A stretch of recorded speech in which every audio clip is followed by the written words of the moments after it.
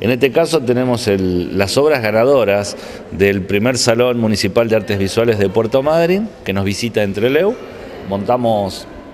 las obras en el día de ayer, de ayer, queda el salón inaugurado y desde ya que estamos invitando a toda la comunidad para que se acerquen al centro cultural en el horario de 8 a 20 horas, 8 de la mañana a 20 horas, lo mismo que las escuelas, comunidad educativa toda queda invitada para presenciar este hermoso salón municipal de artes visuales de Puerto Madryn que vamos a tener hasta el día 30 de este mes aquí en Trelew. Me acompaña eh, la señora Gloria Rábalo de Puerto Madryn, directora del Museo Municipal de Puerto Madryn, y dos de los artistas que nos